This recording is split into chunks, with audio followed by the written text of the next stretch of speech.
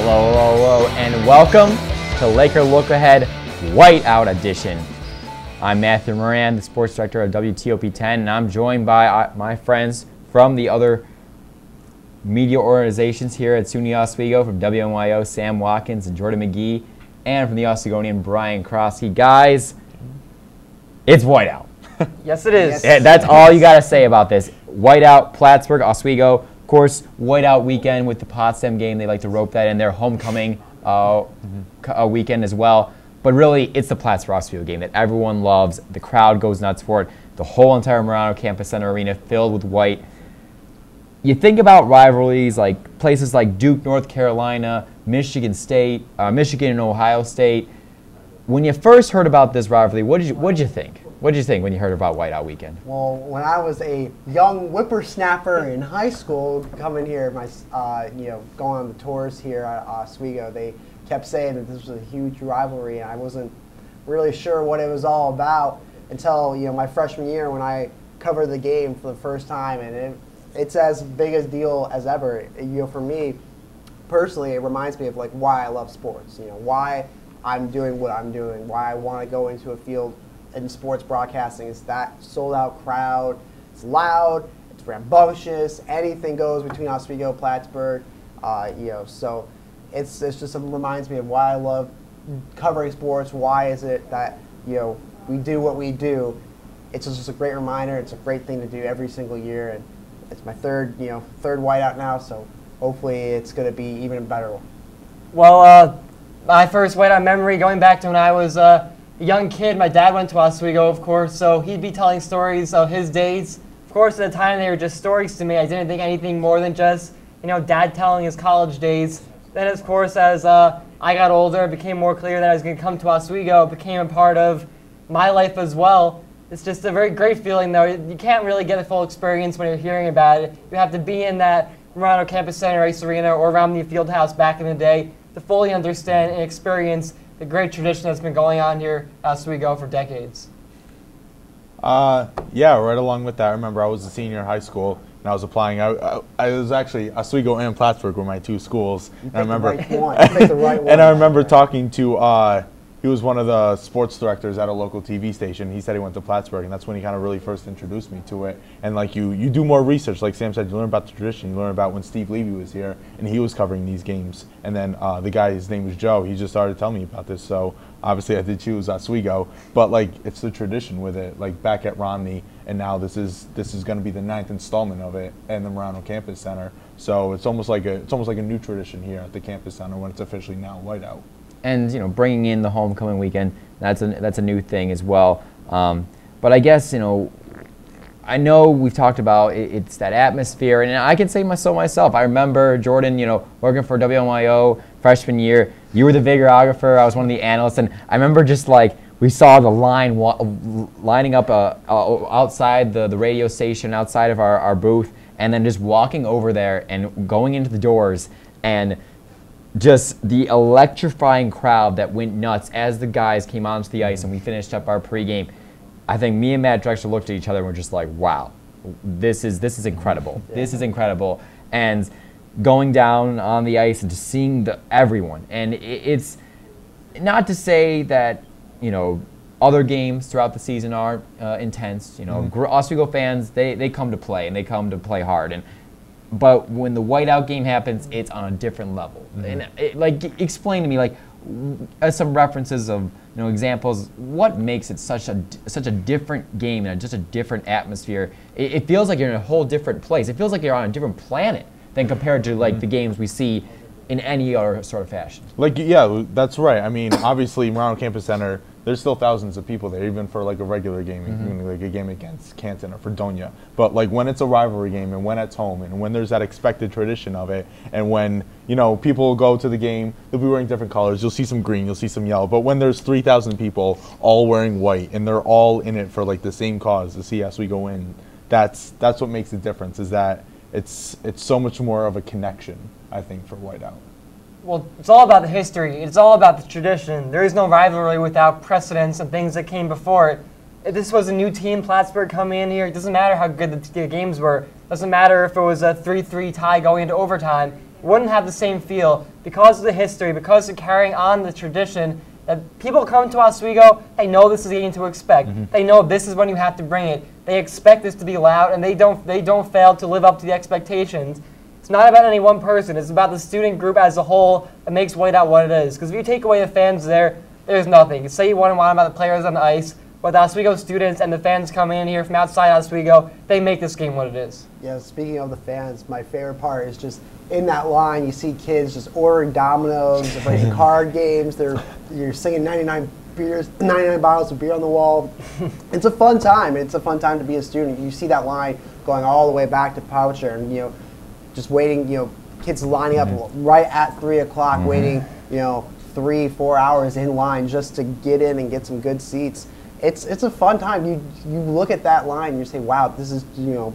You don't. There's no other game where that happens. Yeah, well, students have to go through that twice. I mean, I remember last year as a freshman, I, I got there around 8 in the morning Yeah. just to get the tickets. Exactly. Wasn't it great to be on the other side now, Brian? Not needing a ticket. I mean, it's good, and when I, you, you realize you don't have to go with a ticket and you can show up a lot later than everyone else. But I mean, they go through the, they go through that twice. They, that Sunday where they're waiting in line all day for tickets, and then that Friday again where they're waiting in line just to get in, get some good seats. And that's the thing. You think about Oswego.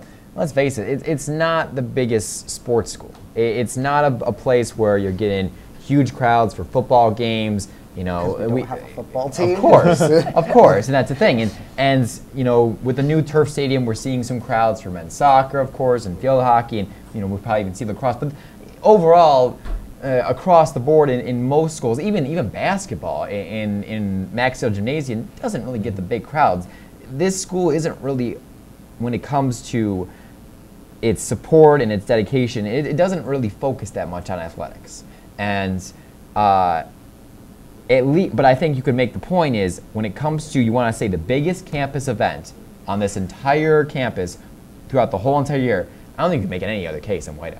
It brings no other event brings this mm. many people together, students together for one event in one place at one time. I guess it's just the simple notion of you don't like Plattsburgh. You come here, literally on those tours, they tell you we don't like Plattsburgh in any shape, way, or form. And this is the big sport. You know, obviously both programs are you know perennial Division three powerhouses. Both have you know pedigrees, SUNYAC championships. They all both have national championships to claim.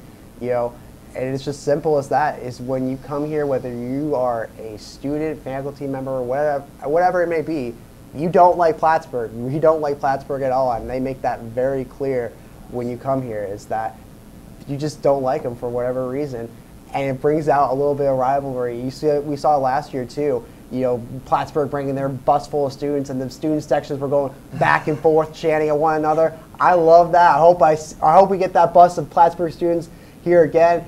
It just creates great rivalry. The students feel like there's a cause that they, you mm-hmm. know, they feel like they can affect the game. They're right on top of the goaltender, whoever it may be, Rouleau or Finney. They're going to be going after him all night long it's it's just a fun time. Students going back and forth. They really feel like mm-hmm. that they have a cause in all of this. That they're you know they're cheering, their loud play really makes a impact on the game. Well, yeah, Jordan, you made a great point. You said both these teams are good, and that's what makes rivalries rivalries. When you talk about the best ones, is that both teams need to be on top of their game at all times. Emery, Gosek, two of the most two of the most successful Division three coaches, and so that's what makes this. You see the coaching matchup, and then, like I said, ever since you go, ever since it started in the Marano Campus Center, 0607, it's been either Oswego or Plattsburgh that's won every single SUNYAC championship. So it's the top two teams in the SUNYAC. Two, it's usually always a top 10 matchup, even in Division three. So that's what makes it possibly the best rivalry in Division three hockey. That's what just makes it so huge, is because these teams are always good.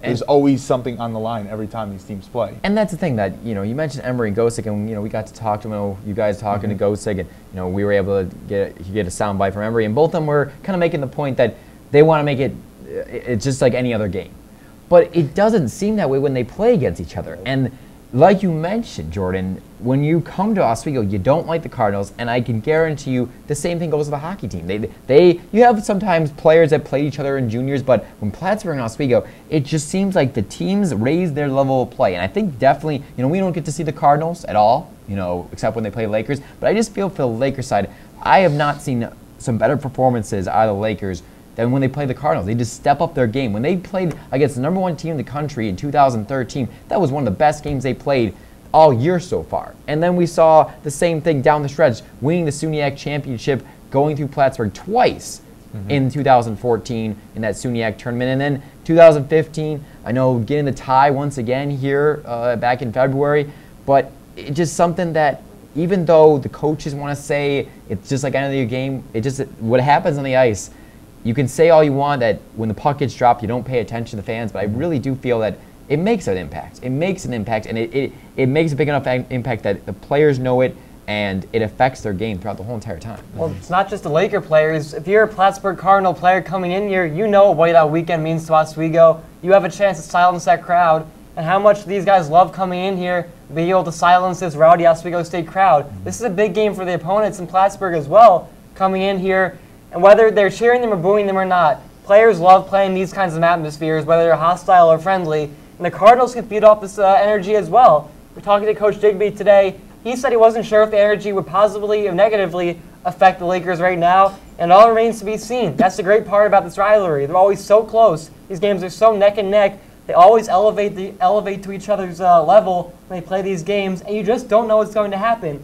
The team may not be playing well right now. The Lakers not off to the best start. When it comes to whiteout weekend, you know it's going to be a close game, regardless of how the teams are playing coming into it. Absolutely, this can be seen as a turning point. We might even go on that further. Of is course. that not only is this Plattsburgh, but this is Potsdam. Those are the two top teams in the SUNYAC right now. So you have to look at this as yes, the Lakers have started off slow, one, one, and one. This isn't the expectation that they have every year. Um, so you want to say, listen, this is if there's one weekend, maybe this is a good thing that it's in November this year, not February, because Lakers slow start. Maybe they can use this, build some momentum, and get in when they get into the middle part of their schedule, knowing that they've already that they've already faced maybe the toughest part of their schedule. And for Plattsburgh, I think that one thing that Coach Emery was even saying that, yeah, we're off to a 3 0 start. We feel pretty good about ourselves. But honestly, we, they didn't feel that they were confident in the way they've played because of the teams they played. Uh, Buff State and, and Fredonia, and then Canton. I mean, Buff State and Fredonia, two teams that made the SUNYAC tournament, but uh, we'll see how that shakes out. Oswego might be the, the toughest team they play so far this season, and you never know. Oswego could uh, definitely upset the uh, upset the Cardinals, and he, Emery even said you can't overlook the Lakers. No, no way is a mm-hmm. Plattsburgh State team gonna overlook an Oswego State team. But I think we're gonna wrap. We're gonna go to break. We are gonna come back and we're gonna get into a little more things about the game, some interesting points. Who's gonna be in net for both teams? Who knows what's gonna happen with that? Some other things that it's gonna shake out with this big whiteout game, which is now just over an hour away from puck drop. We're gonna keep you going from here, here on Laker Look Ahead.